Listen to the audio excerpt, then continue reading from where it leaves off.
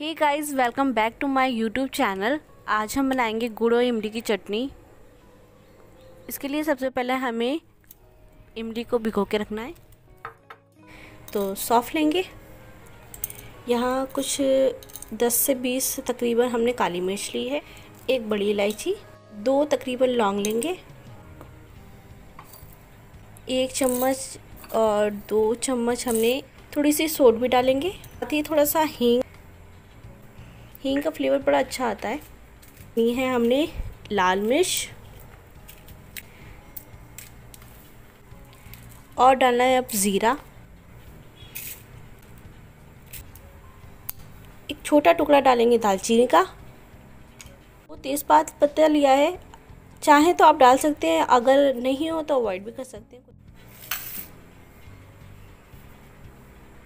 हमारे गरम मसाले रोस्ट हो चुके हैं, अब बस हमने इन्हें पीसना है।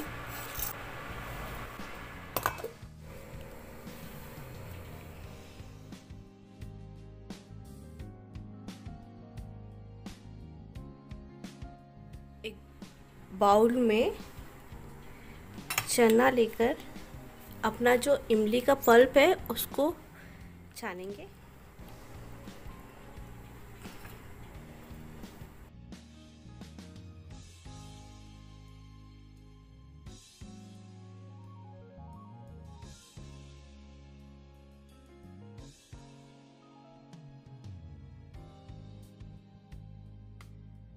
में डालना है। ये जो मसाला हमने तैयार करा है वही। तो इसमें हम डालेंगे तकरीबन दो चम्मच, वन एंड टू। और फिर हमने इसमें डाल देना है गुड़, क्योंकि गुड़ के बिना चटनी तो होती ही नहीं है। सफ़ेद नमक हम डालेंगे तकरीबन एक चम्मच। और आधा चम्मच हम डालेंगे काला नमक। फ़ूड कलर डालेंगे ज़रा। इसे खूब अच्छा सा पकाना है। तो और सॉसर में इसे डालेंगे।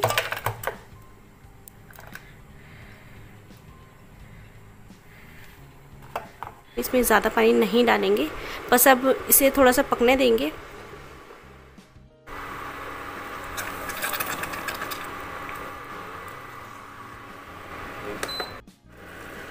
फ्लेम को ऑफ़ करेंगे। चटनी की जो थिकनेस है, वो हमारी परफेक्ट हो गई है। रूम टेम्परेचर पे इसे ठंडा होने देंगे ताकि ये सेट हो जाए।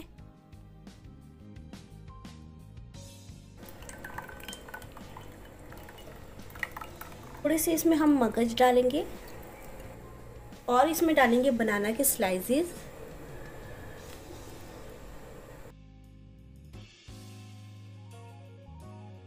टिक्के, समोसा और दही भल्ले के साथ तो ये बहुत अच्छी लगती है।